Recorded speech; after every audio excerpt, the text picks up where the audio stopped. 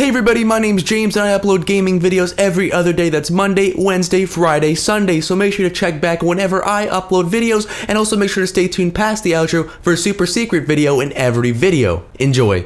Hey everybody, how's it going? My name is James and it's been over a month since we've seen our last DLC in Grand Theft Auto 5. And that's kind of odd for Rockstar, they normally release DLCs every month, but everybody is wondering, you know, when is the next DLC going to be coming out every time Monday or Tuesday, you know, morning comes Monday night. Everyone is freaking out trying to uh, wait stay up late thinking that Rockstar may maybe magically release a DLC.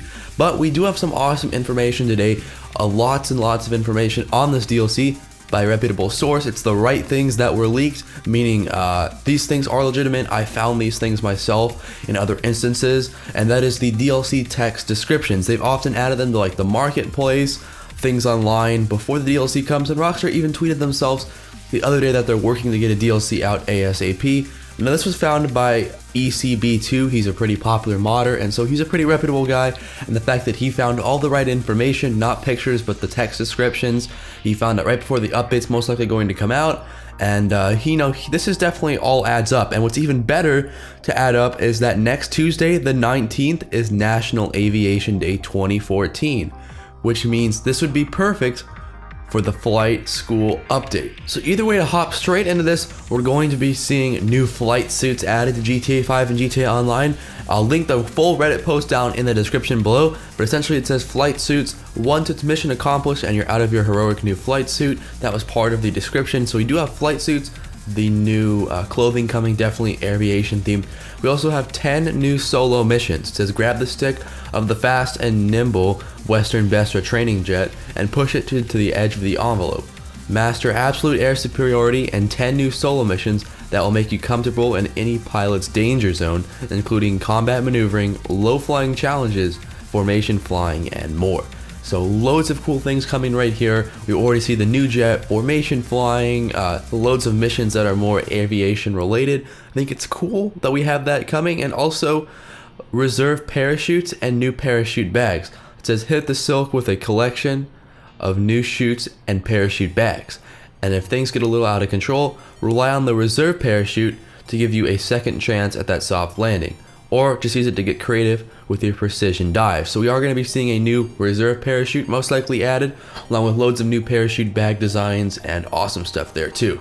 So now we know that, but what about the four new vehicles coming? First off, there does say grab the stick of the fast and nimble Western Besra training jet and push it to the edge of the envelope. So that's one vehicle right there. Also, spend your shore leave buzzing the skies in the luxury Swift Helo or cram your entire squad into the new 16-seater Buckingham Miljet for team transport in style. It also says later hit the streets in the shapely Inverto Coquette Classic available in either hardtop or topless roadster variants. We are going to be seeing a new car, but more importantly, three jets, one Besra training jet, a jet for purely training, also a new luxury helicopter, and a 16-seater military jet for team transport.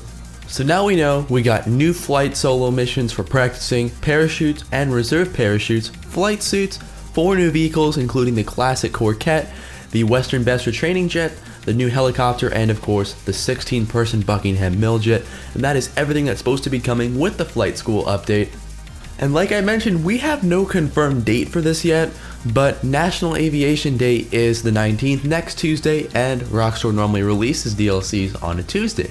This all checks out, this all makes sense. Let me know what you think of it in the comment section down below. And also, if you could have anything in this DLC, what would it be? I'd like to add some more military jets and also maybe some more commercial jets, uh, maybe like a 747, we already have that.